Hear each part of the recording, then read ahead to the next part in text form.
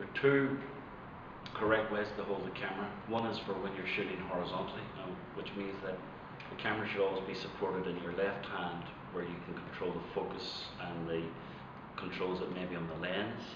And the right hand is holding onto the camera body with your index finger ready to take the photograph. So it would be something like this. And then the second way that one might want to hold the camera is if you're shooting verticals. And that's how you hold the camera for verticals. This is how not to do it.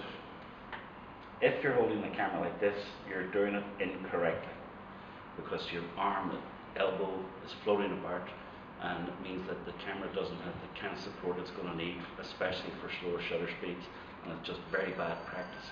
So get yourself in the habit of shooting horizontals like this and verticals like this. Horizontal, vertical, horizontal, vertical.